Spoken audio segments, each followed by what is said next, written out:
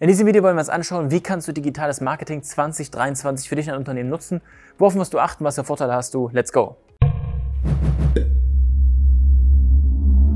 Erstmal herzlich willkommen zum Video. Mein Name ist Alex und ich möchte jetzt heute mal über das Thema digitale Marketing in 2023 sprechen. Ja, was hat sich geändert von 2022 zu 2023? Eine große Sache.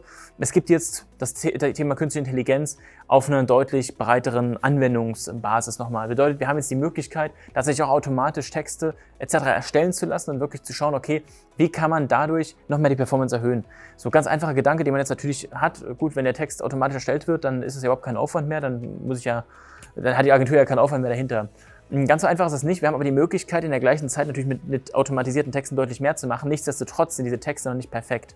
Und womit wir uns gerade sehr viel beschäftigen, ist, wie kann ich es schaffen, diese Intelligenz, die diese, diese ähm, Tools quasi haben, diese Tools mitbringen, zu nutzen, dass wir quasi uns Optimierungsschritte nicht nur sparen, das würde ich gar nicht mal sagen, wir machen die Schritte immer noch, aber diese Schritte auf einer tieferen Ebene machen können. Wo man davor vielleicht nicht jede Woche sich jedes Bild in jeden Text angucken konnte, kann man heute da oder hat Möglichkeiten, da eine Intelligenz drüber laufen zu lassen, die das wirklich teilweise auf Tagesbasis machen kann.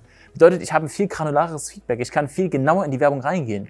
Jetzt denkst du erstmal, ja, das sind für mich böhmische Dörfer und ja, das kann ich auch verstehen, aber stell dir vielleicht so vor. Du hast Texte und Bilder, die funktionieren besser als andere Texte und Bilder. Und wenn ich mir jeden Monat alle Texte und Bilder anschaue, kann ich natürlich herausfinden, was sind die effektivsten. Wenn ich das aber jeden Tag mache, vielleicht sogar jede Stunde, vielleicht sogar mit jeder Einblendung machen kann, mir anzugucken, was die effektiven Texte sind, kann ich viel schneller meine Werbung optimieren, als wenn ich da erstmal einen Monat oder zwei Monate warte, wie es in aktuellen Zyklen relativ normal ist, weil ich einfach nicht die Zeit habe, mir, ich sag mal, im Schnitt hatten bei uns eine Kampagne über 100 Werbeanzeigen, verschiedene, die alle anzuschauen jeden Tag. Das geht nicht, das geht zeitlich einfach gar nicht. Da müssten wir sonst was berechnen im Monat. Ne? Und dadurch habe ich die Möglichkeit, das viel häufiger zu machen, eine viel größeren Anzahl zu machen und dann manuell nochmal den Filter drauf laufen zu lassen. Das heißt, der Mensch kontrolliert es danach nochmal.